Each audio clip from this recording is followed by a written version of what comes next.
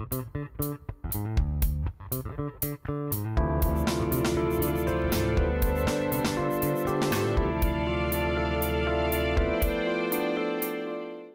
இருக்கீங்க எல்லாரும்? கர்த்தருடைய கிருபை நிமித்தம் இந்த காலவேளையில் கர்த்தரை நாம் ஆராதிக்க வந்திருக்கிறோம். மறுபடியுமாய் இது இந்த மாதத்தின் கடைசி ஞாயிறா இருக்கிறது. இந்த பத்தாம் மாதத்தை கூட கர்த்தர் கிருபையாய் முடிக்கும்படியாய் கர்த்தர் நமக்கு தயவை பாராட்டியிருக்கிறார். அது நிமித்தம் நாம் ஒரு நன்றியான உள்ளத்தோடு நம் கர்த்தருக்கு முன்பாக வருவோம். கண்களை மூடி தேவனை நோக்கி பார்ப்போம். ஹalleluya ஹalleluya நம் தலைகளை தாழ்த்தி இருதயத்தை அப்பாவிற்கு நேராக உயர்த்தி நம் சிந்தனைகளை தேவனுக்கு நேராய் திருப்புவோம். கர்த்தர் தாமே இந்த காலவெளியில் நம்மை தொடட்டும். வந்திருக்கிற நம்மை ஆசீர்வதித்து இந்த கால வேளையில் அவருடைய ஆராதனையில் அவருடைய பிரசன்னத்தை உணரும்படியாக உதவி செய்யட்டும். நம்மை நாமே இந்த ஆராதனைக்கு தகுதிப்படுத்திக் கொள்வோம். கர்த்தர் அவருடைய கிருபையினால் நம்ம இந்த நாள் வரையிலும் கொண்டு வந்திருக்கிறார் என்ற உணர்தலோடு கூட கர்த்தருக்கு முன்பாக வருவோம். நம்முடைய பலன் அல்ல நம்முடைய நீதி அல்ல நம்முடைய பரிசுத்தம் அல்ல.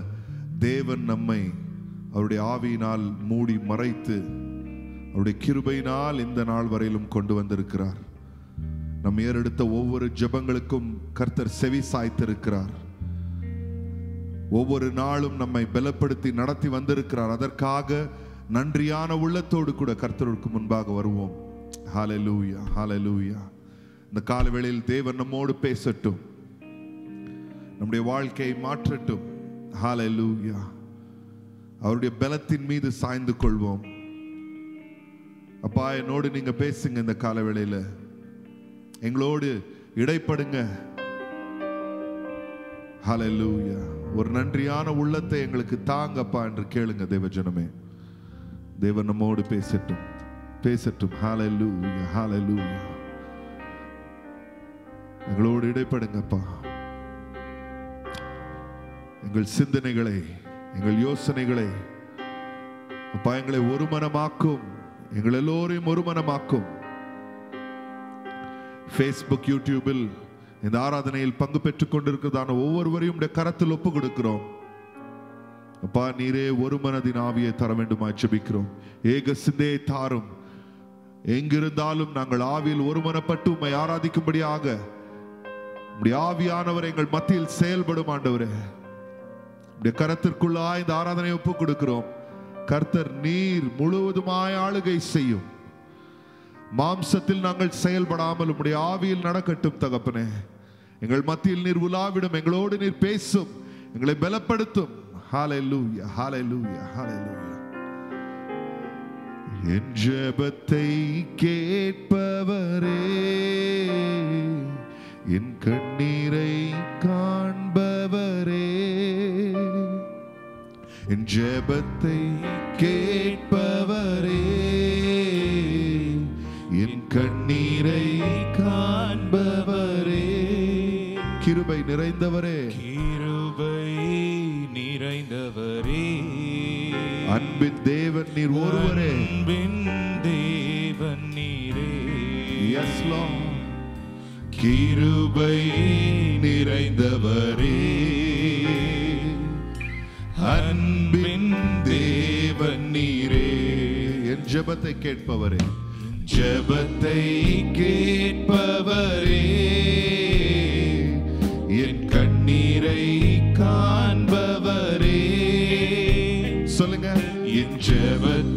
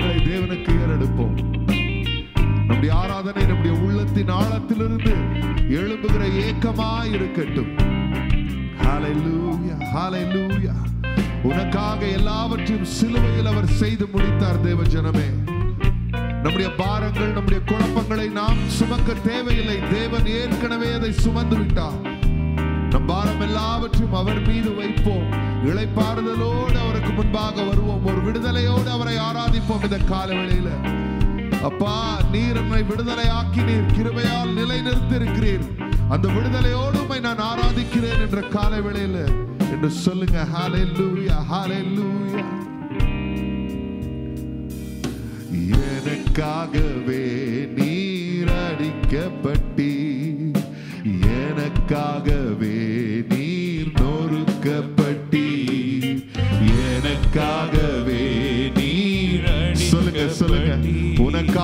काग रतन सिद्धि मरित देव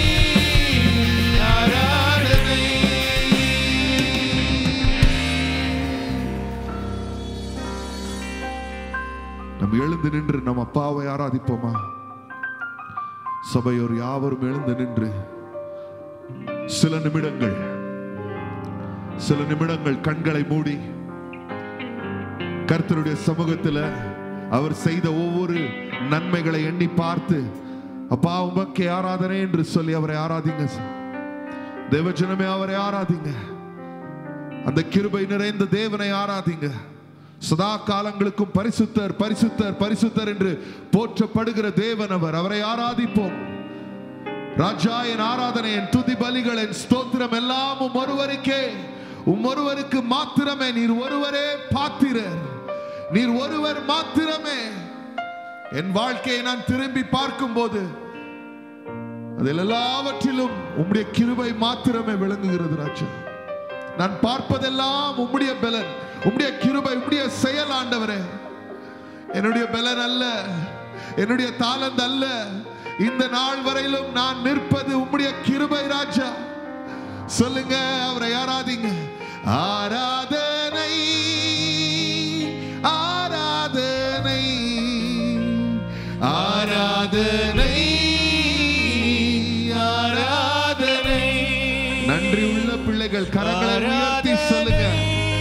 கரங்களை உயர்த்தி அப்பா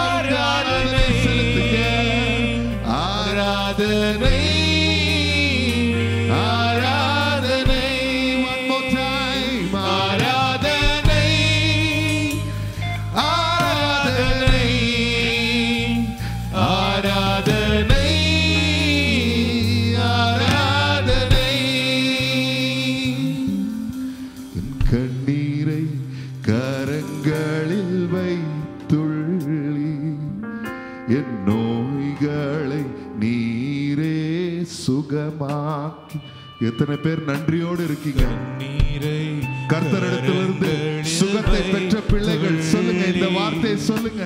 நோய்களை நீரே சுகமாக்கி நீ. வேதனைகளை அவர் சுமந்தார். வேதனைகள் சோதனைகள் தேவன் சுமந்தார்.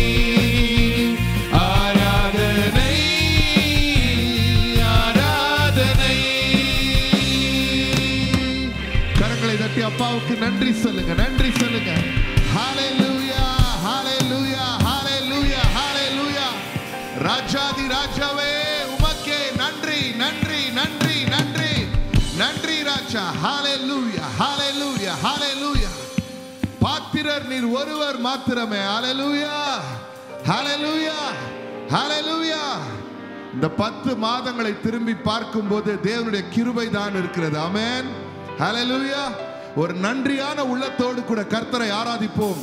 கர்த்தர் நம் மத்தியில் நம்மை ஆசீர்வதிப்பார். ஹலலூயா எல்லாரும் உற்சாகமாய்.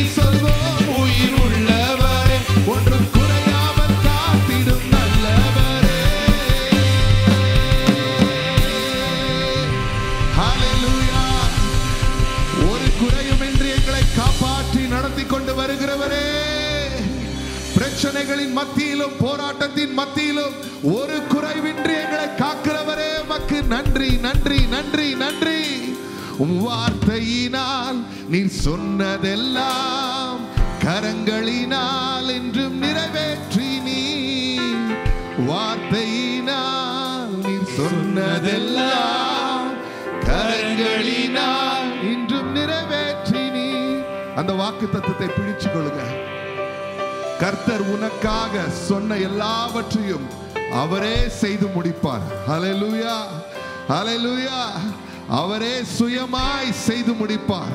தம்முடைய கரங்களினால் அவரே செய்து முடிப்பார். விசுவாசிக்கிறவங்க கரங்களை வானத்திற்கு நேராய் உயர்த்தி அப்பா நன்றி ராஜா. எனக்கான யாவற்றையும் செய்து முடிக்கிறவரே. மனிதனை நான் நம்ப தேவையில்லை. என் பலத்தின் மீது சாய்ந்து கொள்ள தேவையில்லை. எனக்குரிய எல்லாவற்றையும் நீரே நீரே நீரே நீரே செய்து முடிக்கிறவர். வார்த்தையின சொன்னதெல்லாம் கரங்களினால் இன்றும் நிறைவேற்றி நீர் வார்த்தையினால். நீர் சொன்னதெல்லாம் கரங்களினால் இன்றும் நிறைவேற்றி நீ தாவிதுக்கு அவர் வாக்குரைத்தார். தாவிதுக்கு ஒரு வாஞ்சை. தேவனுக்கென்று நான் ஒரு ஆலயத்தை கட்ட வேண்டும். எனக்காக நான் ஒரு பெரிய பேலஸில் நான் வாழ்ந்து கொண்டு இருக்கிறேன் ஆனால் தேவன் மட்டும் ஒரு டென்ட்டில் இருக்கிறாரு அப்படின்னு அவனுக்கு ஒரு வாஞ்ச. நான் கர்த்தாவே உமக்கென்று நான் ஒரு ஆலயத்தை கட்ட வேண்டும் என்று சொல்லி. தேவன் தாவிதுக்கு வாக்குரைத்தார். நீ கட்ட முடியாதுப்பா ஆனால் உன்னுடைய பிள்ளை அதை கட்டுவான் என்று சொல்லி. கர்த்தர் வாக்குரைத்ததை செய்து முடித்தார். சாலமோன் கட்டின ஆலயம் இன்றைக்கும் இருக்கிறது எருசலேமில். அவர் வார்த்தையினால் உன் வாழ்க்கையில சொல்லுகிற எல்லாவற்றையும் அவர் செய்து முடிக்க வல்லவராயிருக்கிறார் அநேக ஜனங்கள் ஜனங்கள் உன்னை சுற்றிலும் அது முடியாது இது முடியாதுன்னு சொல்லலாம். அநேக ஜனங்கள் உங்களை டிஸ்கரேஜ் செய்யலாம் உங்களை தள்ளலாம் கீழே. எந்த இடத்தில் நீங்கள் தள்ளப்படுகிறீர்களோ அதே இடத்தில் கர்த்தர் உங்களை உயர்த்துவார். ஹalleluya நாங்கள் எல்லாம் அதற்கு ஒரு சாட்சி தான் எங்களுக்கென்று தாளந்து ஒன்றுமே இல்லை. நம்பிடாதீங்க. எங்களுக்கு தாளந்தெல்லாம் ஒன்றுமே இல்லை கல்வி எல்லாம் ஒண்ணுமே இல்லை. காலேஜுக்கு போயிருக்கிறோம் நான் சரியா படிக்க கிடையாது. கர்த்தருடைய கிருபையினால் தான் நாங்கள் நிற்கிறோம். கர்த்தருடைய கிருபையினால் தான் நாங்கள் வாழ்கிறோம். அந்த கிருபையின் மீது நீங்கள் சாய்ந்து கொள்ளுங்க. அவர் வார்த்தையினால் சொன்னதெல்லாம் ஒன்றாகிலும் அவர் விடமாட்டார் தேவஜனமே. கரங்களை தட்டி அப்பாவுக்கு நன்றி சொல்லுங்க பார்க்கலாம். விசுவாசமா இருக்கிறவங்க விசுவாசமா இருக்கிறவங்க. அப்பா இன்றைக்கு நான் வெட்கப்பட்டு பட்ட சூழ்நிலையில் இருக்கலாம். ஆனால் நீர் வாக்குரைத்ததை நிறைவேற்றி முடிக்கிறவர் வார்த்தையினால். நீ சொன்னதெல்லாம் கரங்களினால் இன்றும் நிறைவேற்றி நீ. வார்த்தையினால்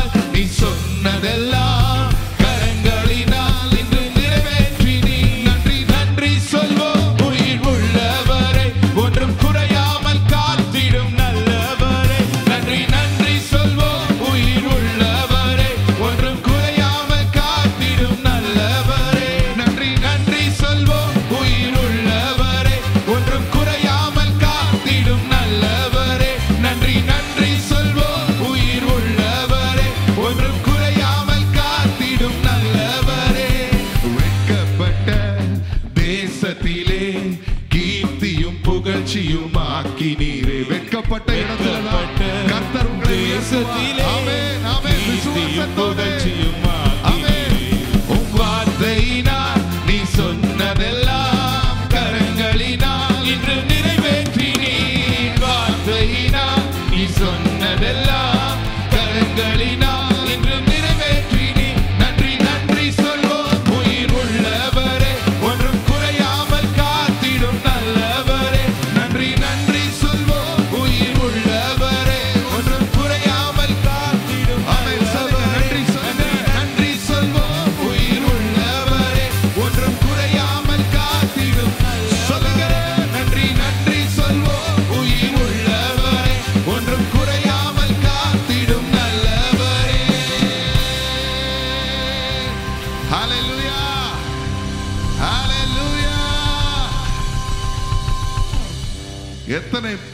தேவன் அல்லவா? ஹலலூயா ஒரு வார்த்தையும் அவர் மாறாத தேவனா இருக்கிறார்.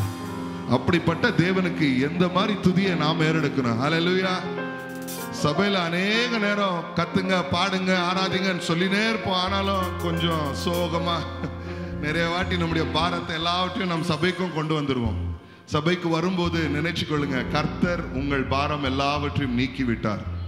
அவர் அவர் சுமந்து கொண்டார். அப்போ நாம செய்ய வேண்டியதெல்லாம் ஒரே ஒரு காரியம் தான் நம்ம குரலை உயர்த்தி நம்முடைய கரங்களை தட்டி உற்சாகமாய் கர்த்தரை ஆராதிக்கிறேன். அவன் ஹலலூயா ஹலலூயா எல்லாரும் கமான் எவ்ரிபடி உற்சாகமாய் கரங்களை தட்டி குரல்களை உயர்த்தி அவரை ஆராதிப்போம்.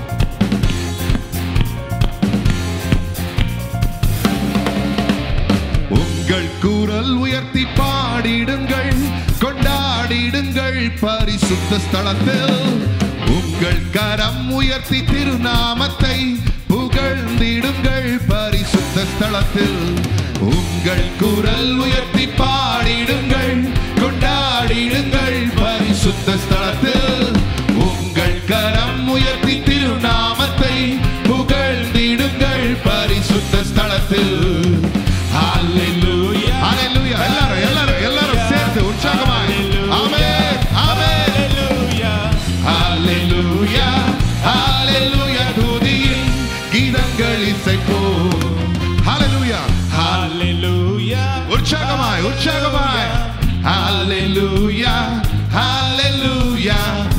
சத்தம் போட்டு. புதியன் கீதங்கள் இசைப்போ. உங்கள் குரல் உயர்த்தி பாடிடுங்கள். சொல்லுங்க. கொண்டாடிடுங்கள். பரிசுத்த ஸ்தலத்தில் உங்கள் கரம் உயர்த்தி திருநாமத்தை புகழ்ந்திடுங்கள். பரிசுத்த ஸ்தலம் ஒன் மோர் டைம்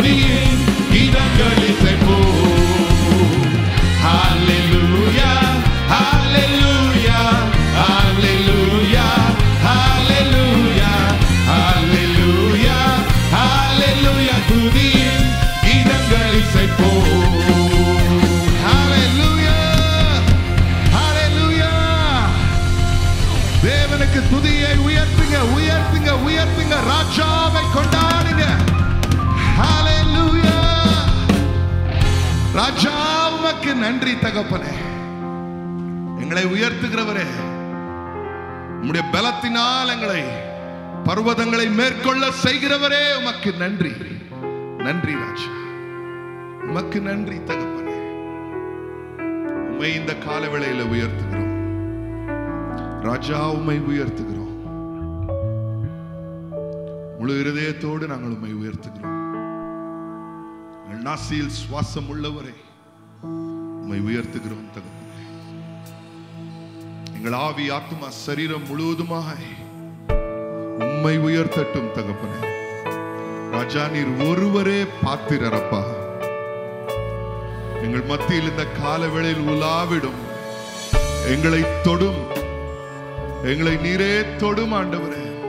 எங்களோடு நீர் பேசும் பேசும் பேசும் தகப்பனே.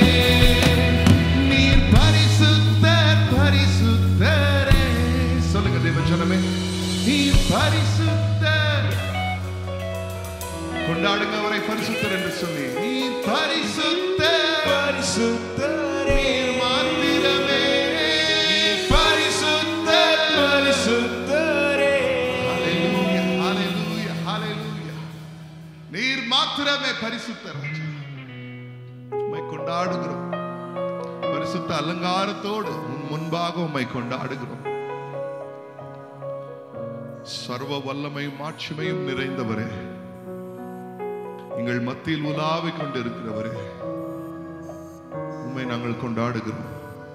எங்கள் ஆராதனை முழுவதும் உமக்கு ஏற்றனவா இருக்கட்டும் ராஜா. நீர் மாத்திரம் உயர்த்தப்பட வேண்டும் தகப்பனே. மனிதன் அல்ல இசையல்ல தாளந்தல்ல நீர் மாத்திரமே மகிமை அடைய வேண்டும். எங்கள் மகிமை மாட்சிமை துதி கனம் எல்லாமும் ஒருவருக்கு மாத்திரமே. மட்டுமா எங்களோடு நீர் இடைப்பட்டீர். உடைய வேதத்தின் வார்த்தை கொண்டு எங்களோடு பேசும் தகப்பனே. பேசும். ஆசீர்வதியும். இயேசுவின் நாமத்தினால் ஜபிக்கிறோம். நல்ல பிதாவே. ஆமே ஆமே உட்காருங்க எல்லாரும் உட்காருங்க.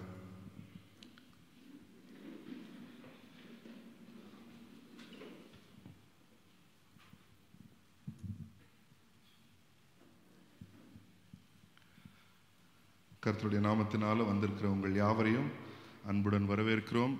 கர்த்தர் தாமே உங்களை எல்லோரையும் ஆசீர்வதித்து இந்த மாதம் முழுவதுமாய் வருகிற நாட்கள் எல்லா நாட்களிலும் உங்களை நடத்துவாராக.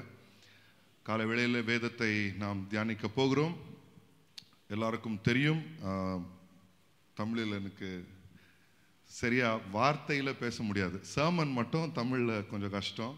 அதனால் I be speaking in English and I will continue to translate for us as usual okay Let's uh, bow down our heads and look to the Lord in prayer. தலைகளை வணங்கி நாம் தேவனை நோக்கி பார்த்து செபிக்கலாம் Let God minister to us as we meditate upon His word. அவருடைய வார்த்தையை தியானிக்கிறதான இந்த வேளையில கர்த்தர் தாமே நம்மோடு கூட இடைப்படுவாராக பேசுவாராக May the Lord just not make us be hearers of the word, but also doers of His word. தேவனுடைய வார்த்தையை மாத்திரம் கேட்காதபடிக்கு நாம் அவருடைய வார்த்தையை செயல்படுத்தும்படியாக தேவன் நமக்கு உதவி செய்வாராக May the Lord lead us and uh, help us to concentrate on His word and receive it just as it is. அது வேதம் எப்படியே நமக்கு தேவன் எப்படி பேசுகிறாரோ அவ்வனமாகவே தேவனுடைய வார்த்தையை ஏற்றுக்கொள்ள அதை நாம் பெற்றுக்கொள்ள கர்த்தர் தாமே நமக்கு உதவி Why செய்வாராக don't you take one minute and surrender your hearts this morning into the presence of the Lord? தேவ பிரசனத்தில் ஒரு நிமிஷம் எடுத்து நாம் தலைகளை வணங்கி நம்மை தேவனுக்கு ஒப்பு கொடுக்கலாம் Close your eyes and look to God. கண்களை மூடி நாம் தேவனை நோக்கி பார்க்கலாம் Ask the Lord to minister to you. தேவரே நீர் என்னோடு கூட பேசுங்க என்று தேவனை பார்த்து கேட்கலாம் Ask the Lord to speak to you. என்னோடு கூட இடைப்படுங்க ஆண்டவரே Thank you, Jesus. நன்றி இயேசுவே Thank you, Lord. நன்றி இயேசுவே To each and every one of us that are here this morning, வந்திருக்கிற யாவரும் ஒவ்வொருவரையும்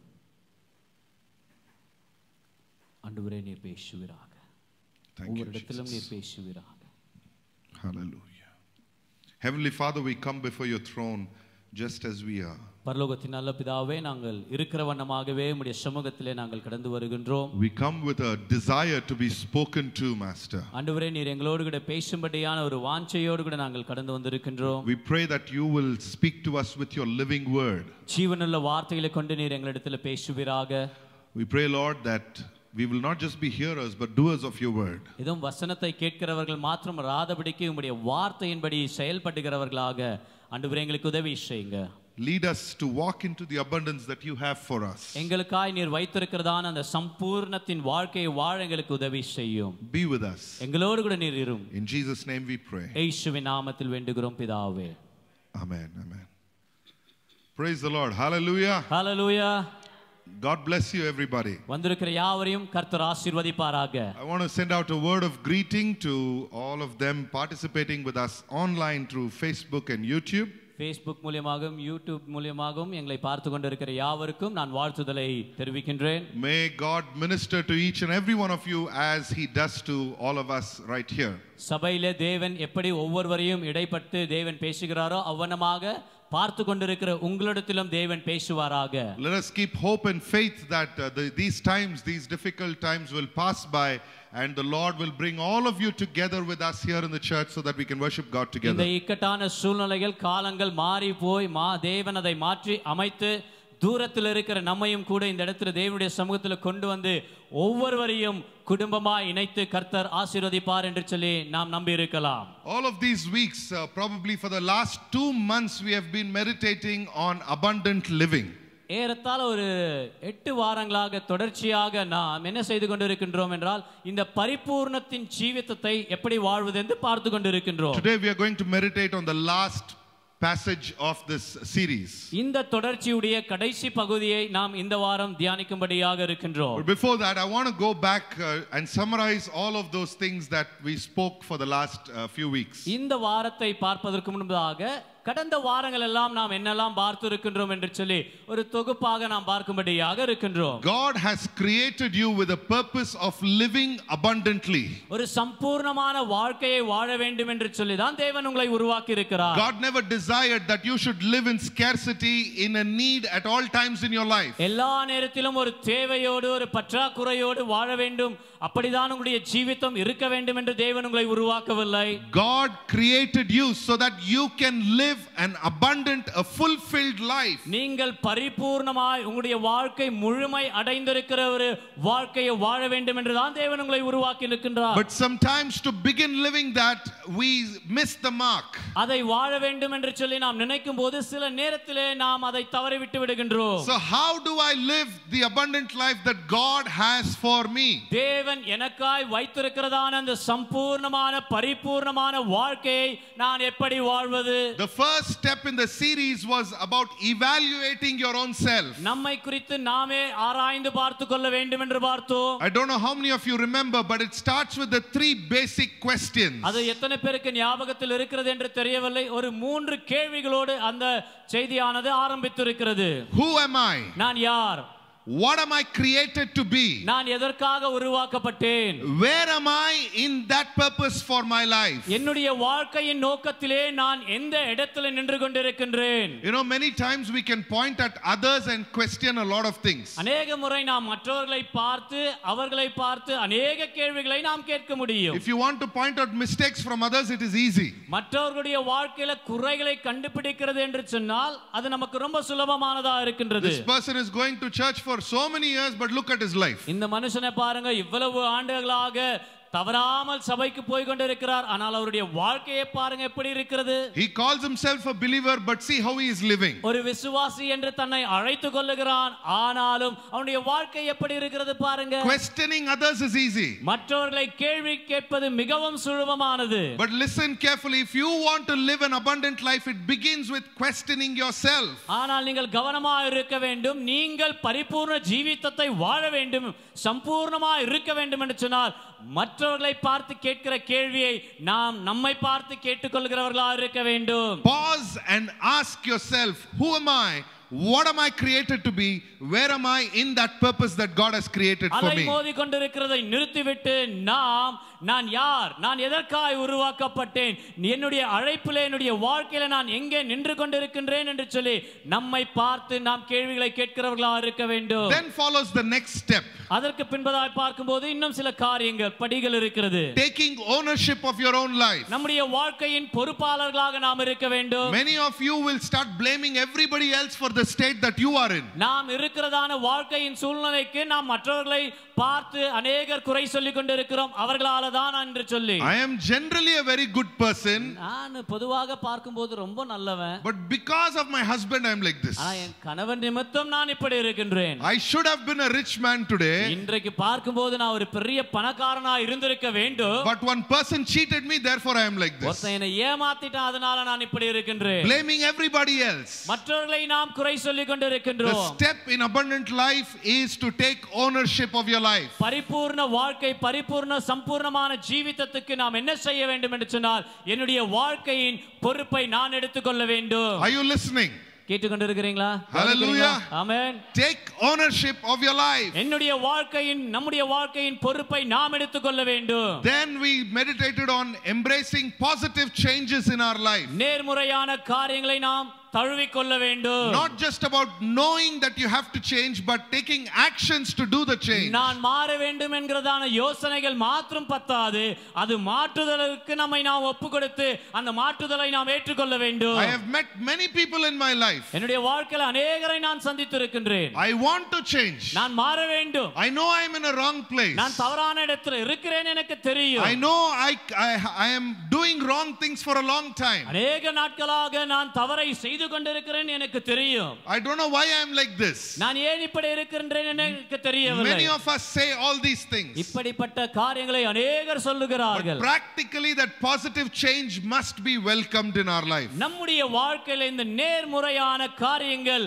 மாற்றுதலை நாம் ஏற்றுக்கொள்ள வேண்டும் And then we saw anticipating rebellion. எதிர்ப்புகளை நாம் எதிர்த்து நிற்கிறது When you are doing something positive in your life, உங்களுடைய வாழ்க்கையில நேரான காரியங்களை சரியான காரியங்களை நீங்கள் செய்யும் போது when you are going into the abundance that God has for you, தேவன் உங்களுக்காய் வைத்திருக்கிறதான அந்த சம்பூர்ணத்தின் ஜீவனத்தை நோக்கி நீங்கள் பிரயாணிக்கும் போது everyone else around you will talk negative about உன்னை you. சுற்றிலுமா இருக்கிறவர்கள் எல்லாமே எதிராக தான் பேசுவார்கள் We have seen you for so many years. இவ்வளோ வருஷமா உன்னை பார்த்துனுக்குறேன் We don't know your life. உன் வாழ்க்கையை பற்றி எனக்கு தெரியாதா Nothing is going to change. ஒன்னும் மாறாது Anticipating rebellion. அப்படிப்பட்ட எதிர்ப்புகளை நாம் எதிர்த்து நிற்க வேண்டும் All of this is the second step. இது இரண்டாவது படியாய் நாம் பார்த்தோம் And thirdly, மூன்றாவது you have to walk into the grand plan that God has for you. தேவன் உங்களுக்காய் வைத்திருக்கிறதான அந்த பிரம்மாண்டமான திட்டத்துக்குள்ளாய் நீங்கள் நடக்க வேண்டும் We meditated through the life of Nehemiah. I don't know if you remember. நெஹேமியாவின்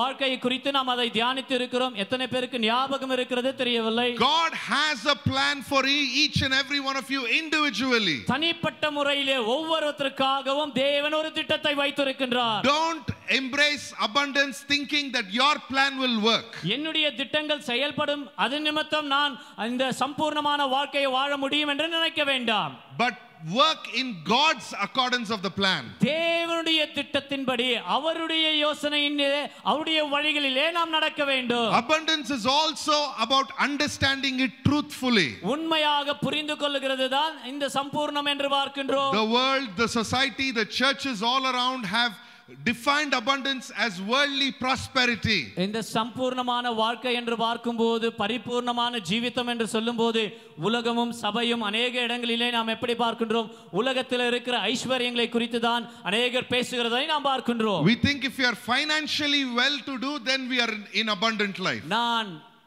பணத்துக்கு குறையற்றவனாக செல்வந்தனாக இருக்கின்றேன் என்றால் அதுதான் சம்பூர்ணமான வாழ்க்கை என்று அநேகர் நினைத்துக் கொண்டிருக்கிறார்கள் But do you know how many rich people are committing suicides today? இன்றைக்கு உங்களுக்கு தெரியுமா எத்தனையோ பண பணக்காரர்கள் செல்வந்தர்கள் அவர்கள் தற்கொலை செய்து கொள்ளுகிறார்கள் You might be thinking this much of money will make me totally happy. இவ்வளவு தொகை பணம் என்னிடத்துல இருந்தா நான் சம்பூர்ணமா சந்தோஷமா இருப்பேன் என்று நினைத்துக் கொண்டிருக்கலாம் This much of wealth for my children is good enough. என்னுடைய பிள்ளைகளுக்கு இவ்வளவு ஆஸ்தி இருக்கிறதா அது எனக்கு போதும் This much of education, I will settle down. இவ்வளவு படிப்பு இருந்தால் என்னுடைய வாழ்க்கை இனி தேவைகள் இருக்காது நான் செட்டில் ஆயிடு விடுவேன் என்று This நினைத்துக் kind of கொண்டிருக்கிறார்கள் job is good enough for me. இப்படிப்பட்ட ஒரு வேலை இவ்வளவு சம்பாதனையிலே இப்படிப்பட்ட ஒரு வேலை இருந்தால் என்னுடைய வாழ்க்கைக்கு போதும் என்று நினைக்கின்றோம் This is the worldly understanding of abundance. இந்த காரியங்கள் எல்லாம் உலகத்திலே இருக்கிற ஜனங்கள் உலகம் நமக்கு சொல்லிக் கொடுக்கிறதான பரிபூர்ண ஜீவிதத்தின் யோசனைகள் எல்லைகளா இருக்கின்றது godly abundance is totally different from ஆனால். தேவனுடைய சம்பூர்ணம் என்று சொல்லும்போது அது வித்தியாசமுடையதா இருக்கிறது The way God defines abundance is in terms of being content with what God gives into our hands. தேவனுடைய சம்பூர்ணம் அவருடைய ச- அந்த சம்பூர்ணத்தின் நோக்கம் எப்படிப்பட்டது என்று சொன்னால் தேவன் நமக்கு கொடுத்திருக்கிறதிலே திருப்தியாய் இருக்கிறது The Bible says the steps of a good man are ordered by the Lord. நல்ல மனிதனுடைய படிகள் எல்லாம் தேவனால் நியமிக்கப்பட்டிருக்கிறது என்று வேதம் சொல்லுகிறது Somebody said it is not just the steps but also the stops that are ordered by the Lord. ஒருவர் சொல்லுகிறார் படிகள் மாத்திரமல்ல அது அந்த இடத்துல நிறுத்துகிறது கூட அவைகள் கூட தேவனால் தீர்மானிக்கப்பட்டிருக்கிறது என்று சொல்லுகிறார். That is the true definition of abundance. அதுதான் இந்த சம்பூர்ணத்தின் முழுமையான அர்த்தமா இருக்கிறது. Whether you are wealthy or not wealthy, நீங்கள் செல்வந்தர்களாக இருக்கலாம் அல்லது இல்லாமலும் இருக்கலாம். If your life is directed by the Lord, you live in true abundance. உங்களுடைய வாழ்க்கை தேவனால் நடத்தப்படுகிறது என்று சொன்னால் நீங்கள் உண்மையான சம்பூர்ணத்தின் வாழ்க்கையை வாழ்ந்து கொண்டிருக்கிறதுக்கு அர்த்தமா இருக்கின்றது. Last week we meditated about how abundance is found in the spiritual community. ஆவிக்குரிய சமுதாயத்திலே எப்படி ஆவிக்குரிய ஜனங்களோடு கூட இந்த ச- சம்பூர்ணமான வாழ்க்கை இருக்கிறது என்று நாம் கடந்த வாரத்திலே பார்த்தோம் So quickly we can leave the, the fellowship of the community of God. தேவனுடைய ஐக்கியத்திலிருந்து பிரிந்து வெகு சீக்கிரமாய் நாம் விலகி கடந்து போகலாம் If you want to leave a job, you will think hundred times. ஒரு வேலையை நாம் விட்டுவிட வேண்டும் என்று சொன்னால் ஆயிரம் முறை நாம் யோசிப்போம் இதை விட்டுலாமா வாண்டாவா என்று சொல்லி If you want to walk out of a marriage, you will think a thousand times. ஒரு திருமணத்திலே இன்னி- இருந்து நீங்கள் பிரிந்து போக வேண்டும் என்று சொன்னால் ஆயிரம் முறை நாம் யோசிப்போம் But if you want to leave a church, it is like that. ஆனால் சபையிலிருந்து வேண்டாம் இந்த சபை வேண்டாம் என்று தீர்மானிக்க நமக்கு ஒரு நொடி கூட போதாது Very easily you can walk out. வெகு சீக்கிரமாய் அதை விட்டுவிட்டு நாம் வேற இடத்துக்கு கடந்து போய்விடலாம் Pastor talks something harsh, I don't want to come to the church. Go. போதகர் கொஞ்சம் கடினமாய் உபதேசித்தார் என்று சொன்னால் போதும். சபைக்கு வேண்டாம் நான் போக மாட்டேன் But the Bible says that abundance is found in community of his saints. இப்படிப்பட்ட பரிசுத்தவான்கள் இணைந்து ஐக்கியத்திலே அந்த சம்பூர்ணமான வாழ்க்கை இருக்கிறது என்று வேதம் சொல்லுகிறது. In being inspired, encouraged, corrected, accounted by the people of God. தேவனுடைய ஜனங்கள் கூடி வருகிற இடத்துல அந்த காரியம் ஒவ்வொருடைய வாழ்க்கையின் காரியங்களை பார்த்து நாம் கற்றுக்கொள்ளுகிறது ஆலோசனைகளை பெற்றுக்கொள்ளுகிறது சீர்திருத்துதலை பெற்றுக்கொள்ளுகிறது இவற்றிலே தேவனுடைய சம்பூர்ணம் இருக்கிறது என்று பார்க்கின்றோம் That is what we meditated until last week. கடந்த வாரம் வரைக்கும் இப்படிப்பட்ட கா இவ்வளவு காரியங்களை நாம் தியானித்து இருக்கின்றோம் Today we are going to close the series of the abundant living. இந்த சம்பூர்ணமான வாழ்க்கையை இந்த வாரத்தில் நாம் முடிக்கும்படியாக இருக்கின்றோம் Today we are going to uh, meditate on the topic of living your heritage. எப்படி இந்த தேவன் கொடுத்திருக்கிறதான அந்த அஹ், நானும் மறந்துட்டேன் living your heritage living your inheritance அந்த சுதந்திரத்திலே கொடுத்திருக்கிற சுதந்திரத்திலே எப்படி வாழ்வது என்று பார்க்கும்படியாக இருக்கின்றோம் godly abundance listen carefully godly abundance is not what you earn out of your own strength உங்களுடைய சொந்த பலத்தினால நீங்கள் பிரயாசித்து சம்பாதிக்கிறது தேவனுடைய அந்த சம்பூர்ணமானது கிடையாது it is not what you strive for in the christian faith கிறிஸ்துவ விசுவாசத்திலே நம்பிக்கையிலே நாம் முயற்சி பிரயாசிக்கிறது heritage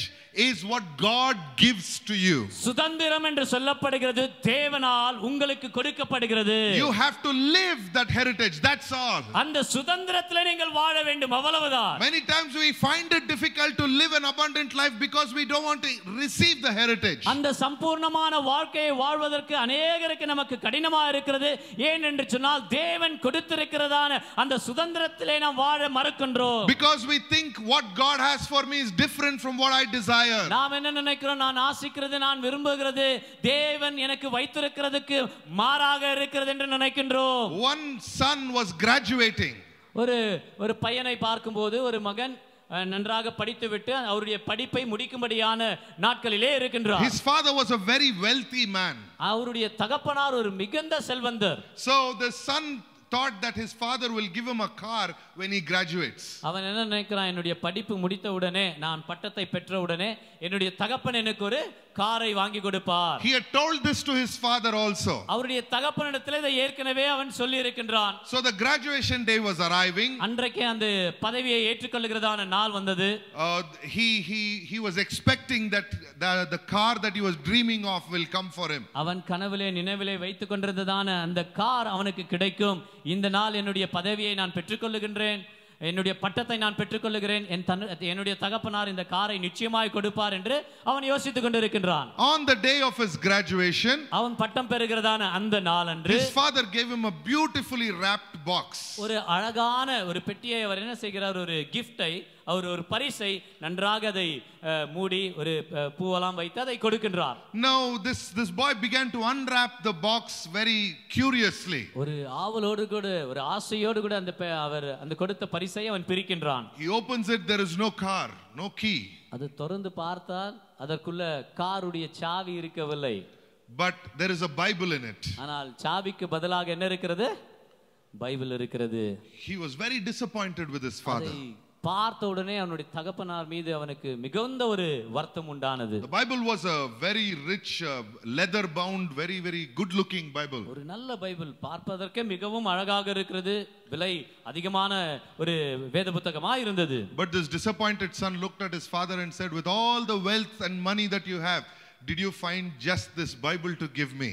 அவன் அந்த அந்த வேதத்தை பார்த்து அந்த வேத புத்தகத்தை பார்த்து மிகவும் வேதனை அடைந்து தகப்பனாரை பார்த்து சொல்லுகிறான் இவ்வளவு செல்வம் இருக்கிறது இவ்வளவு பணம் இருக்கிறது இவ்வளவு ஐஸ்வர்யங்கள் இருக்கிறது இவற்றின் எல்லாவற்றிலும் எனக்கு வாங்கி கொடுக்க இது மாத்திரம் தான் உன்னால முடிந்ததா என்று கேட்கின்றான் After that, he left the house for good and he went away. கோபத்தோடு கூட அவன் அந்த வேதத்தை அங்கே வைத்து வேத புத்தகத்தை வைத்து விட்டு அவன் வீட்டை விட்டு கடந்து போகின்றான் The Bible remained just as it was. எங்கே வைக்கப்பட்டதோ வேத புத்தகம் அங்கேயே கிடக்கிறது Many years passed by. அநேக ஆண்டுகள் கடந்து போனது This boy became a successful businessman. அவன் தன்னுடைய சொந்த உழைப்பிலே அவன் என்ன ஒரு நல்ல வியாபாரியாய் மாறுகின்றான் He became uh, uh, very, very wealthy and he was very happy with the family. எல்லாம் ஆசீர்வாதங்கள் அவனுக்கு கிடைத்தது அவனுடைய குடும்பத்தோடு கூட ஒரு செல்வந்தனாக தன்னுடைய வாழ்க்கையை சந்தோஷமாய் கழைத்து கொண்டிருக்கின்றான் He realized his father was getting old. அவன் புரிந்து கொண்டான் தன்னுடைய தகப்பனார் இப்போது வயது கடந்தவரா இருக்கின்றார் He என்று thought, he thought maybe he should go and meet him and uh,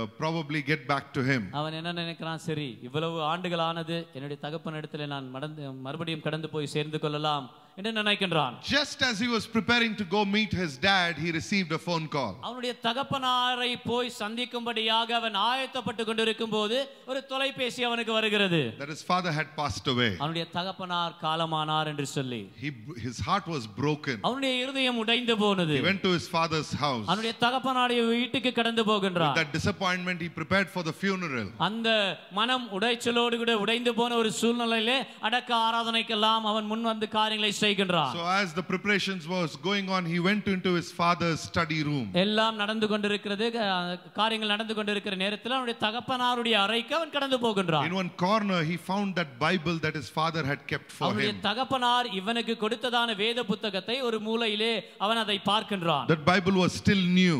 அந்த புத்தகம் இன்னும் புதிதாகவே இருக்கின்றது Curiously, now he went and took the Bible. மனவேதனையோடு கூட அதை பார்க்கும்படியாக அந்த வேத புத்தகத்தை அவன் எடுக்கின்றான் When he tried to open it, opened to a particular page. அந்த புத்தகத்தை எடுத்து அவன் திறந்த உடனே ஒரு ஒரு பக்கத்துக்காக அது திறக்கப்படுகிறது That page was Matthew chapter 7, verses 11. மத்த எழுதின புத்தகம் ஏழாவது அதிகாரம் பதினோராவது வசனத்துக்கு அந்த வேத புத்தகம் திரும்புகிறது And it said, If you, being evil, know to give good gifts to your children, how much more do your heavenly Father know to give good things to you? பொல்லாதவர்களாக நீங்கள் இருந்த போதிலும் உங்களுடைய பிள்ளைகளுக்கு நல்ல ஈவுகளை கொடுக்கும்படியாக நீங்கள் நினைக்கிறீர்கள் என்று சொல்லும்போது பரலோகத்தில் இருக்கிற தேவன் நல்லவராயிருந்து தன்னுடைய பிள்ளைகளுக்கு எவ்வளவு நன்மை செய்யவராய் இருக்கிறார் என்று அந்த வசனம் சொல்லுகிறது That verse was marked by his father for him. அவனுக்கென்று அவனுடைய தகப்பனார் அந்த வசனத்தை குறித்து வைத்திருக்கின்றார் as he was reading it, one key fell from the Bible down. அதை படித்துக் கொண்டிருக்கிற நேரத்தில் வேத புத்தகத்திலிருந்து பின்னணி பின்னிடத்திலிருந்து ஒரு சாவி கீழே விழுகிறது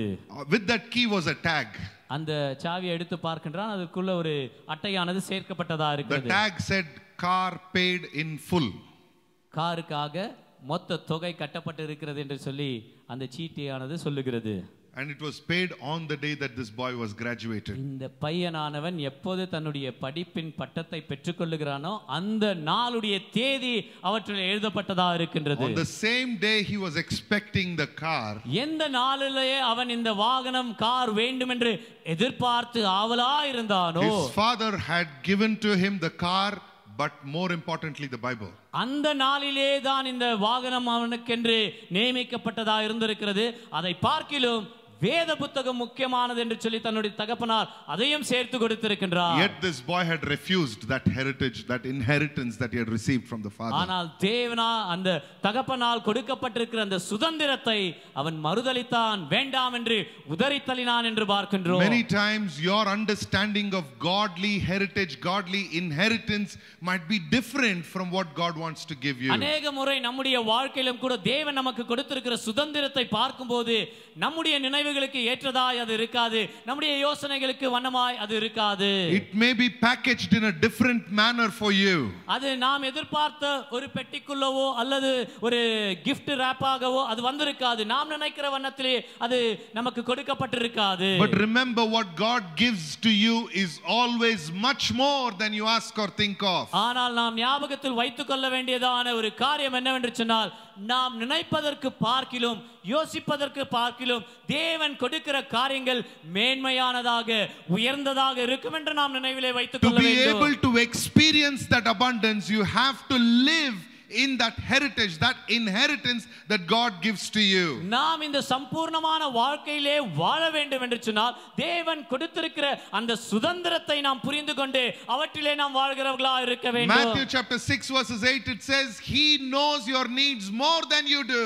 மத்தேயு எழுதின புத்தகம் ஆறாவது அதிகாரம் எட்டாவது வசனத்தை நாம் எடுத்து வாசிக்கும் போது வசனம் சொல்லுகிறது அவர்களைப் போல நீங்கள் இராதபடிக்கு நீங்கள் விண்ணப்பிப்பதற்கு முன்பதாகவே உங்களுடைய ஜெபத்துக்கு முன்பதாகவே நீங்கள் என்ன கேட்கிறீர்கள் உங்களுடைய தேவைகள் என்னதென்று நான் அறிந்திருக்கின்றேன் என்று தேவன் சொல்லுகின்றார் Your Father, your God knows what you need even before you do. நீங்கள் அறிந்து தெரிந்து கொள்வதற்கு முன்பதாகவே உங்களுடைய தகப்பன் உங்களுடைய தேவன் உங்களுடைய இயேசுவானவர் உங்களுடைய தேவைகள் என்னதென்று நீங்கள் சொல்லுவதற்கு முன்பதாகவே அவர் அறிந்திருக்கின்றார் Yet many of us are running behind an abundance that we are looking for. ஆன போதிலும் இந்த சம்பூர்ணமான வாழ்க்கையை வாழ வேண்டும் என்று சொல்லி நாம் தேடி ஓடிக்கொண்டுதான் இருக்கின்றோம். That is why I want to encourage all of you this morning. ஆகையால் தான் இந்த காலை நேரத்தில் உங்களை ஊக்குவிக்கிறதான ஒரு காரியம்.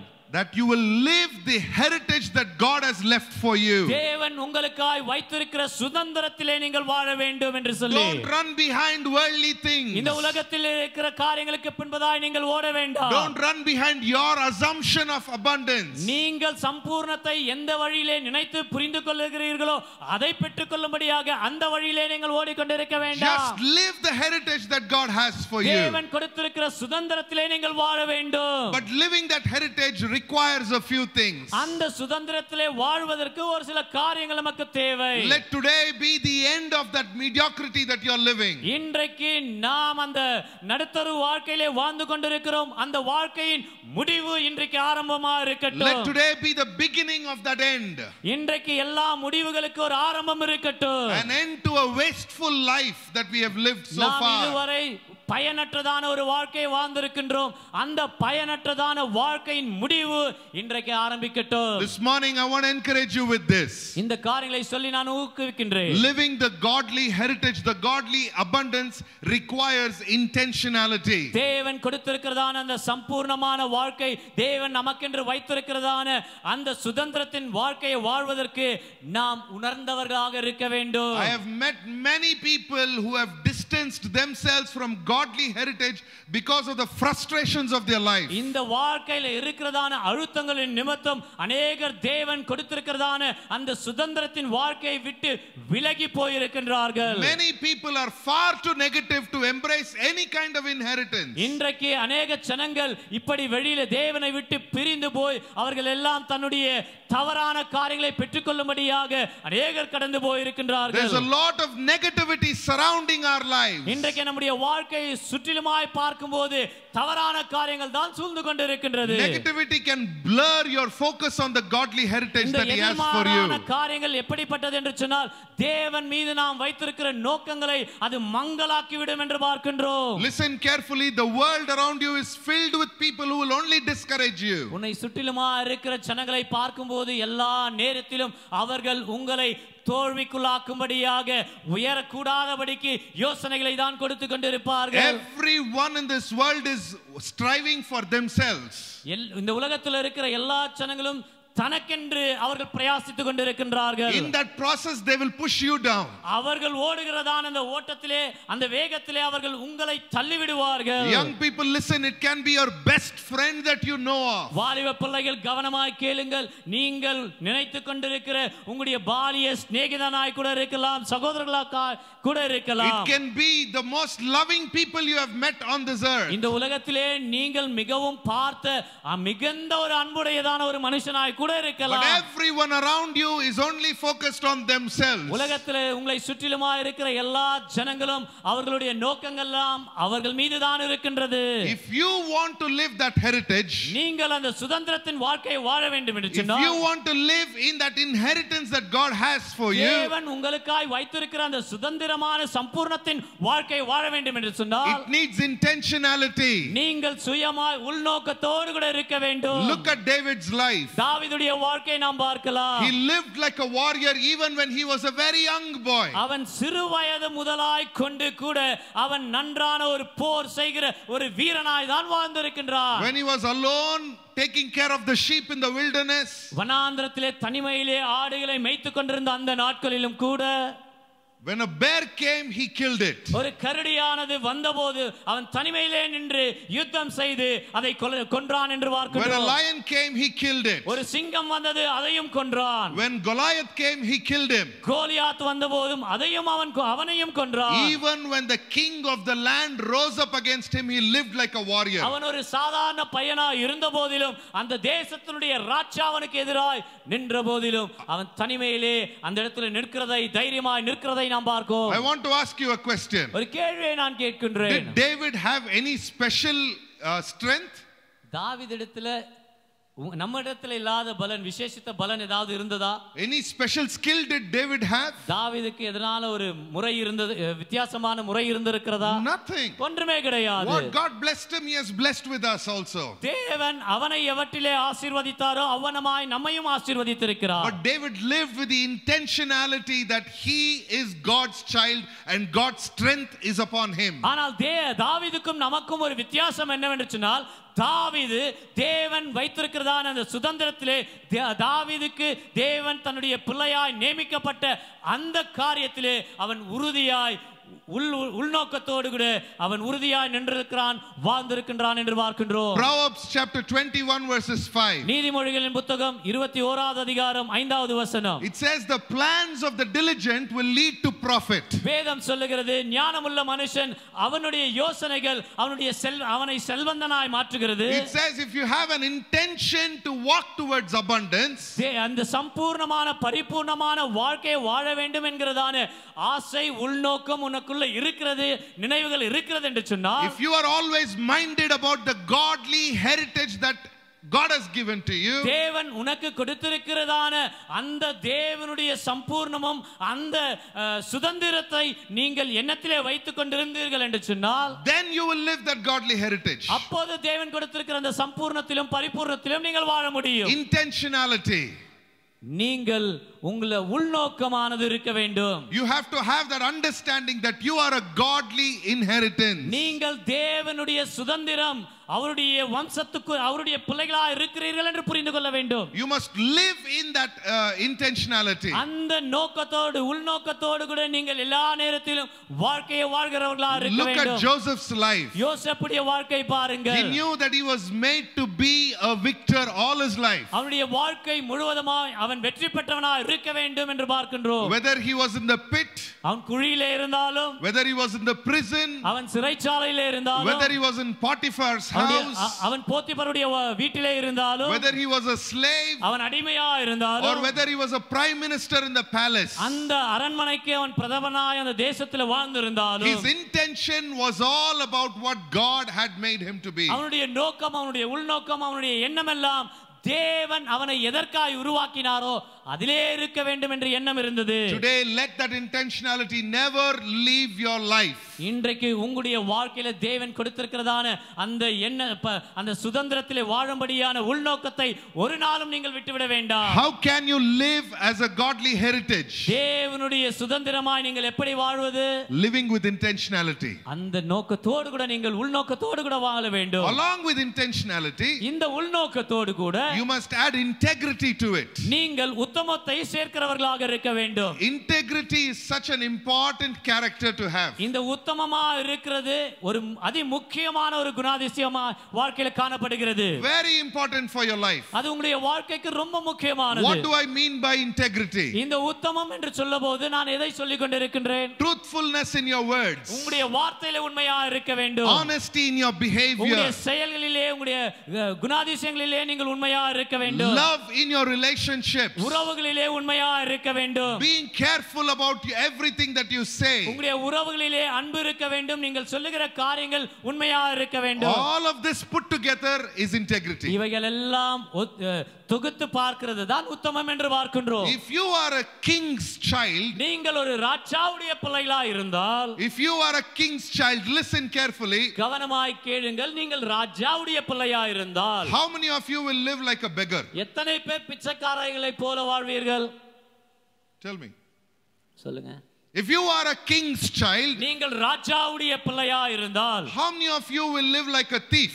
எத்தனை பேர் கல்வர்களை போல திருடனை போல வாழ்வீர்கள் Yet today, we being the chill king, children of the king of kings, still live like robbers and still live like beggars. இன்றைக்கும் நாம் ராஜாவுடைய பிள்ளைகளாய் இருந்த போதிலும் திருடர்களை போல ஏ, ஒரு பிச்சைக்காரனை போல நாம் வாழ்ந்து A கொண்டிருக்கின்றோம் dishonest life in our workplace. நம்முடைய வேலை செய்கிற இடங்களிலே உண்மையற்றதான ஒரு வாழ்க்கை Lying lips outside of our family. நம்முடைய குடும்பத்துக்கு வெளியிலே பார்க்கும்போது பொய் சொல்லுகிறதான நாவுகள் A loveless life inside of our homes. நம்முடைய வீட்டுக்குள்ளே அன்பற்றதான ஒரு வாழ்க்கை No integrity whatsoever. நம்முடைய வாழ்க்கையில உத்தமமே கிடையாத ஒரு வாழ்க்கையை வாழ்ந்து கொண்டிருக்கின்றோம் Yet we think we are living the godly heritage. ஆன போதிலும் தேவனுடைய சுதந்திரத்தின் வாழ்க்கையை வாழ்ந்து கொண்டிருக்கின்றோம் என்று நினைத்துக் Why? கொண்டிருக்கின்றோம் Because you come to church every Sunday. ஏன் காரணம் என்ன ஒவ்வொரு ஞாயிற்றுக்கிழமும் நான் ஆலயத்துக்கு கடந்து போகின்றேன் Let my let me encourage you this morning. இந்த காலை நேரத்தில் நான் உங்களை ஊக்குவிக்கிறதான ஒரு காரியம் You are the children of the most high King of Kings. ராஜாக்களுக்கு பெரிதாக இருக்கிற ராஜாதி ராஜனுடைய பிள்ளைகளாக நீங்கள் இருக்கிறீர்கள் Live your life with that integrity. அந்த உத்தமத்தோடு உங்களுடைய வாழ்க்கை நீங்கள் வாழ வேண்டும் Ephesians chapter 4 verses 14 and 15. எபேசியரின் புத்தகம் நான்காவது அதிகாரம் பதினான்கு பதினைந்தாவது வசனம் It says we are not to be children to be tossed here and there. நாம் பிள்ளைகள் அல்ல இங்கும் அங்கும் காத்தினால அடிக்கப்படுகிறதான பிள்ளைகளை போல நாம் இல்லை We should not be carried around by various doctrines. இருக்கிறதான எல்லா உபதேசத்துக்கும் நாம் அடைக்கப்பட்டவர்களைப் போல இராமல் We should not live in craftiness of men. ஜனங்கள் செய்கிறதான மாயமான தந்திரமான வாழ்க்கைக்கு உட்பட்டு வார்த்தைகளுக்கு காரியங்களுக்கு நாம் உட்பட்டு வாழக்கூடாது We should not live in deceitful scheming of things. ஜனங்களுடைய ஏமாற்றுதலுக்கு நாம் ஒப்பு கொடுத்து வாழக்கூடாது But it says speaking the truth in love. உண்மையை அன்பினாலே பேசுகிறவர்களா இருக்க வேண்டும் Living a life that is full of love and truthfulness. உண்மையும் அன்பும் நிறைந்திருக்கிற ஒரு வாழ்க்கையை வாழ Your வேண்டும் words must carry truthfulness and love. நீங்கள் பேசுகிறதான ஒவ்வொரு வார்த்தையும் அது உண்மையை சுமந்து செல்லுகிறதாகவும் அன்பை கொண்டு செல்கிறதா இருக்க வேண்டும் Truthfulness in your workplace. உங்களுடைய வேலை ஸ்தலங்களிலே நீங்கள் உண்மையா இருக்க வேண்டும் Truthfulness in your schools and colleges. படிக்கிற இடங்களிலே பள்ளிகளிலே கல்லூரிகளிலே நீங்கள் உண்மையா இருக்க வேண்டும் Truthfulness in your relationships. உறவுகளிலே நீங்கள் உண்மையா இருக்க வேண்டும் Love in your relationships. அன்பு உறவுகளிலே அன்பு இருக்க வேண்டும் Keep the integrity. இந்த உத்தமத்தை நீங்கள் காத்துக்கொள்ள If வேண்டும் you want to live your heritage, you have to live in integrity. அந்த சம்பூர்ணம் அந்த சுதந்திரத்தின் வாழ்க்கையை வாழ வேண்டும் இந்த சம்பூர்ணமான ஜீவிதத்தை பெற்றுக்கொள்ள வேண்டும் என்றால் நம்முடைய வாழ்க்கையிலே நாம் உத்தமமா இருக்க வேண்டும் Live with intentionality. நாம் உள்நோக்கத்தோடு கூட உணர்ந்தவர்களாய் வாழ வேண்டும் Will you live in integrity?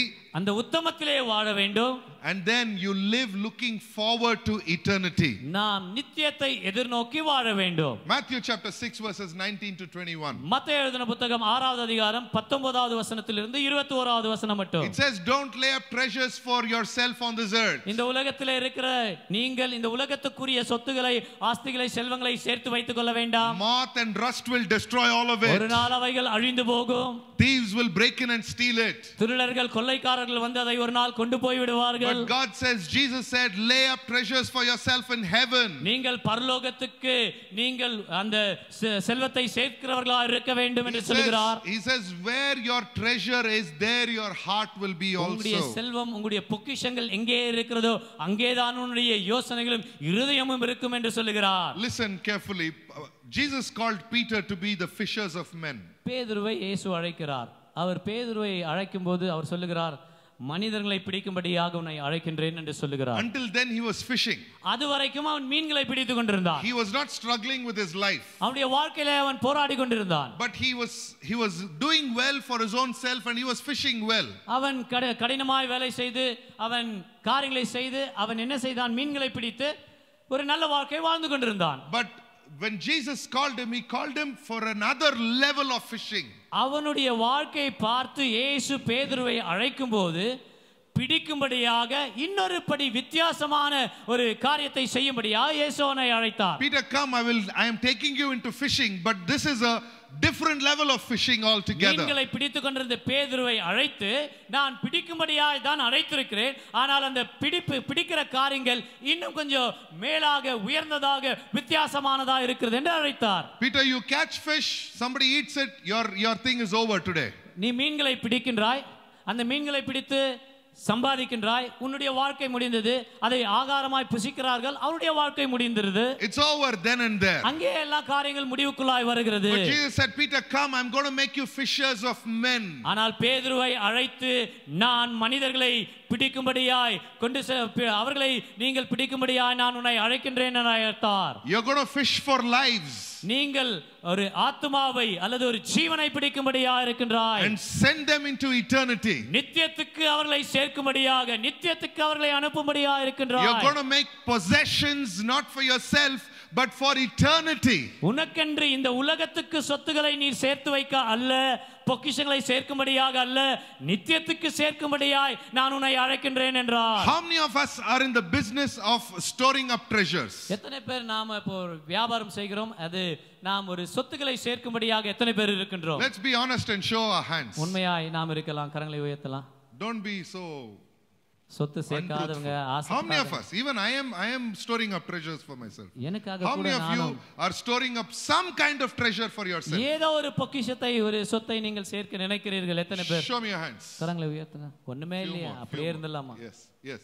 Now, how many of you are in a place where you can give that up for the earning of one soul? ஒரு ஆத்துமாவை சம்பாதிக்க அறுவடை செய்வதற்கு எத்தனை பேர் நாம் வைத்திருக்கிறதை கொடுக்க முடியும் Very hard, right? மிகவும் கடினமானது இல்லைங்களா Very hard, right? ரொம்ப கடினமானது Whatever we we earn today can can be turned overnight, upside down.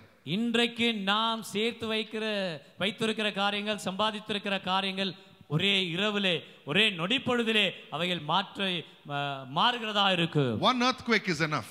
ஒரு நிலைநடக்கம் வந்தால் போதும் One loss of job is enough. ஒரு முறை நாம் வேலையை இழந்து போனால் போதும் One coronavirus is enough. இப்படிப்பட்ட ஒரு ஒரே ஒரு கொரோனா வைரஸ் இது வந்தால் போதும் Everything you've earned can go away. நாம் சம்பாதித்து சேர்த்து வைத்திருக்கிற எல்லா காரியமும் நம்மை விட்டு கடந்து போகும் But with that treasure, if you're able to earn one soul for the kingdom of God, அந்த அழிந்து போகக்கூடியதான அந்த செல்வத்தை சம்பாதனையை வைத்துக்கொண்டு கர்த்தருக்காக தேவனுக்காக தேவனுடைய ராஜ்யத்துக்காக ஒரு ஆத்மாவை நாம் சம்பாதித்தால் you have led a whole generation to eternity. ஒரு தலைமுறையை நீ நித்தியத்துக்குள்ளாய் நடத்திருப்பாய் How do I live my heritage? எப்படி நான் இந்த சுதந்திரத்திலே வாழ்வது It is by storing up treasures for the kingdom of God. தேவனுடைய ராஜ்யத்துக்காக நான் பொக்கிஷத்தை சேர்த்து வைப்பது Living for eternity. நித்தியத்துக்கு வாழ்க்கை வாழ்வது This morning, I want to encourage you with that. இந்த காரியங்களை சொல்லி நான் ஊக்குவிக்கும்படியாக இருக்கிறேன் Let the intention and the focus of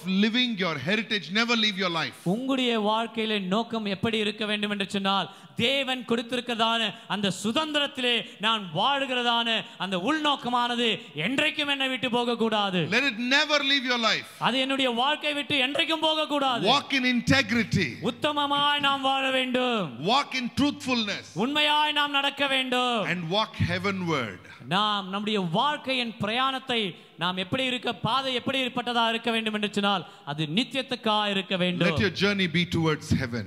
பரலோகத்தை நோக்கி நம்முடைய பிரயாணம் இருக்க வேண்டும் Let's all stand up. நாம் யாவரும் எழுந்து நிற்கலாம் Somebody said, when your burdens grow bigger, His grace grows all the more. ஒருவர் இப்படியாய் சொல்லுகிறார் எப்போது உங்களுடைய பாரங்கள் அதிகரிக்கிறதோ அந்த இடத்துல தேவனுடைய கிருபையும் அதிகரிக்கிறது He says, when your hard work increases, God gives you more strength. உங்களுடைய கடினமான வேலைகள் அதிகரிக்கும் போது வேலைகள் கடினமாய் மாறும் போது தேவனுடைய பலனும் அதிகரிக்கிறது என்று பார்க்கின்றோம் When your trials increase, He says He adds mercy to it. உங்களுடைய உபத்திரங்கள் அதிகரிக்கும் போது தேவனுடைய கிருபை அதிகரிக்கிறது இரக்கம் அதிகரிக்கிறது என்று This பார்க்கிறோம் morning, no matter where you are in your life, உங்களுடைய வாழ்க்கையில நீங்கள் எப்படிப்பட்ட பகுதியிலே வாழ்ந்து கொண்டிருந்தாலும் remember God's abundance keeps increasing. தேவனுடைய சம்பூர்ணமானது அது பெருகிக் கொண்டே இருக்கிறது என்று நீங்கள் புரிந்து கொள்ள வேண்டும் Everything we have meditated in the last few weeks கடந்த ஓர் சில வாரங்கள் நாம் தியானித்திருக்கிற ஒவ்வொரு காரியமும் is pushing us towards the abundant life that God has for each and every one of you. தேவன் உங்களுக்காய் தனிப்பட்ட முறையிலே வைத்திருக்கிறதான ஒவ்வொரு நபருக்காய் வைத்திருக்கிறதான அந்த சம்பூர்ணத்தின் பரிபூர்ணத்தின் வாழ்க்கையை வாழும்படியாக இவைகள் உங்களை தள்ளி நடத்தக்கூடியதா இருக்கின்றது Some of you may be walking strongly towards that அதை. நோக்கி ஓர் சிலர் உறுதியாய் நடந்து கொண்டிருக்கலாம் Some of us may be struggling with our lives right now. ஓர் சிலரை பார்க்கும்போது இந்த நாளிலே நம்முடைய வாழ்க்கையிலே போராடி கொண்டிருக்கலாம் But I believe in God this morning இந்த காலை நேரத்தில் நான் தேவனை நம்பி இருக்கின்றேன் that if you believe in every word that we have meditated in the past eight weeks, இதுவரை வேதத்திலிருந்து கடைசி வா ஒவ்வொரு வாரமும் தியானித்திருக்கிறதான தேவ வசனத்திலிருந்து நாம் உறுதியாய் தியானித்து இருக்கிற ஒவ்வொரு காரியத்தையும் பெற்றுக்கொண்டிருந்தால்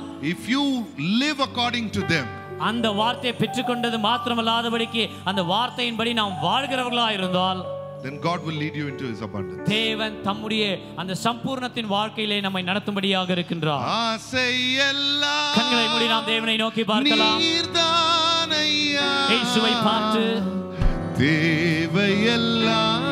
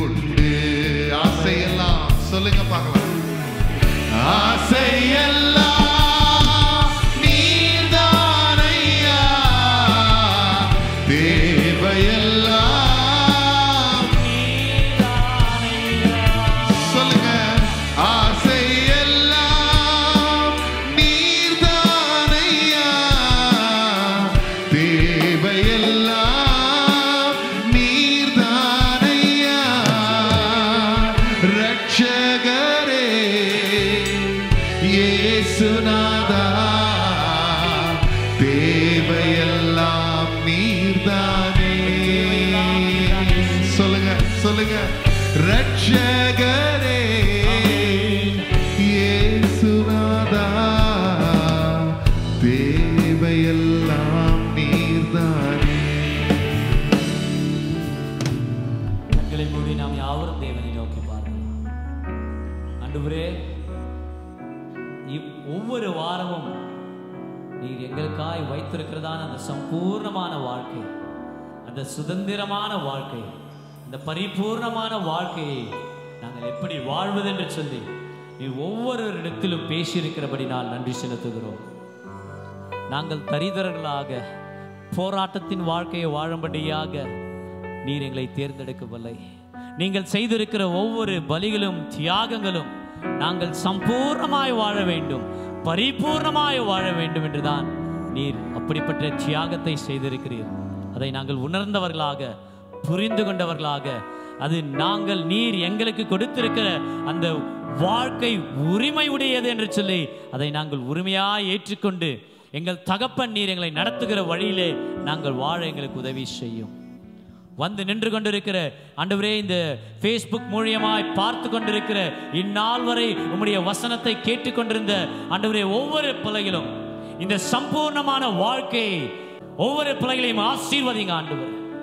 நித்தியத்துக்கென்று வாழ உதவி செய்யுங்க நோக்கத்தோடு உள்நோக்கத்தோடு கூட அதை உணர்ந்தவர்களாக எங்கள் தேவன் எல்லாவற்றையும் செய்ய வல்லவராக இருக்கிறார் செய்திருக்கிறார் முடித்திருக்கிறார். அந்த சுதந்திரத்திலே வாழ எங்களுக்கு உதவி செய்யுங்க. உத்தமமா இருக்க எங்களுக்கு உதவி செய்யுங்க. நீங்க எங்களை நடத்துங்க. ஒவ்வொரு பிள்ளைகளையும் ஆசீர்வதிங்க. பலவீனத்தை நீக்கி குறைகளை நீக்கி பற்றாக்குறைகளை நீக்கி அந்த சம்பூர்ணமான வாழ்க்கையை வாழ உதவி செய்யுங்க. ஆசீர்வதிங்க. இயேசுவின் நாமத்திற்கு தான் ஆமென். என் ஆத்மாவே கர்த்தரை ஸ்தோத்ரி. உண்மையோருடைய பரிசுத்த நாமத்தை ஸ்தோத்ரி. என் ஆத்மாவே கர்த்தரை ஸ்தோத்ரி. கர்த்தர் செய்த சகல உபகாரங்களையும் என்றும் மறவாது. ஆமென். நம்முடைய கர்த்தராகிய இயேசு கிறிஸ்துனுடைய கிருபையும் பிதாவாகிய தேவனுடைய அன்பும் பரிசுத்தாவினுடைய அந்யுன்ய ஐக்கியமும் சகாவாசமும் இன்றும் என்றும் உங்கள் அனைவரோடு கூட என்றென்றும் இருப்பதாக. ஆமென். ஆமென். ஹalleluya ஹalleluya ஹalleluya